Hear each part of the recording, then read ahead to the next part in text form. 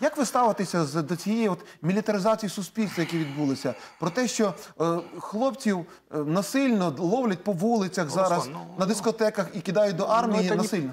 ну, это неправильно. То есть это в принципе неправильно, тем более неправильно, когда этих людей хватают для того, чтобы они защищали интересы каких-то людей, фа- которых мы знаем пофамильно, в том числе и с... Ні, ну є с- конституційний обов'язок, Нет, повинність. стоп. А, а, Конституционный обовязок, вообще-то в Конституции написано, что не допускается принятие законов, которые сужают объем прав граждан, объем возможностей, которые налагают на этих граждан дополнительные обязанности. И я хочу напомнить, что президент Янукович, вернее, во время президента Януковича был отменен призыв. И то, что его потом ввели, это на самом деле нарушение прав граждан. Погоджуюсь з вот вами. так. Дякую, пане Олеже. Тепер е, вам е, можливість і дозвонювачу відповісти, і власне до, ці- до нашої теми розмови. Що чи вважаєте ви нормальним, коли, скажімо, людей, які не хочуть служити в якості там гарматного м'яса теоретичного, так? Е, Бо це все ж таки е, армія, це зброя і тому подібне. Особливо зважаючи на те, що тепер 12-річна освіта і буде закінчувати школу по суті 18 років.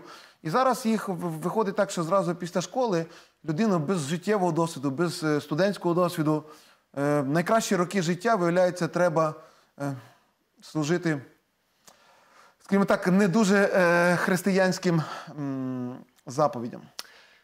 Ну, дивіться, якщо ми розберемося з самого початку, а, то питання призову це було таке, знаєте, важливе питання а, для кожної матері, син якої мав іти в цю армію. Спочатку було пережиток радянської армії в нас, і це була одна історія. Після того, як сталася війна і почалися військові дії, питання довіри до збройних сил в суспільстві України виросло в рази.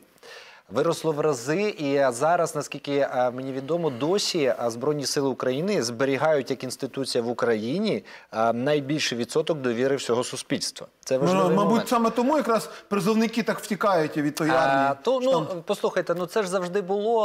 А Є ті, хто хочуть е, служити, є ті, хто добровільно йдуть і все кидають. Хоча б є люди, які на Донбасі, яких прекрасна блискуча кар'єра, в яких вистачало заробляти гроші, але вони по поклику душі туди йшли. І е, розумієте, що зараз я до чого веду? А призов не такий небезпечний, як був раніше, а, тому що зараз рейтинг збройних сил виріс. І я хочу наголосити, що а, Збройні сили України. А, Добро на виключно на добровільних основах в зону АТО відправляли а, строковиків. Виключно на добровільних основах, де люди підписували Я своє відповідні відеозвернення писав, коли насильно А- е, простих моїх земляків без жодного е, е, військового досвіду, без жодного навчання військового, просто кидали в якості гарматного м'яса, і потім я супроводжував звідти з зони е, АТО, бо тому що свої, уже коли вони в гробах, у тих чорних мішках для сміття, у тих обгорілих кусками привозили своїм матерям. Я власне я пацифіст. Я вважаю, що це війна це взагалі від сатани. Я не признаю військовий спосіб вирішення економічних проблем, бо тому що ко- кожна війна має економічне підґрунтя.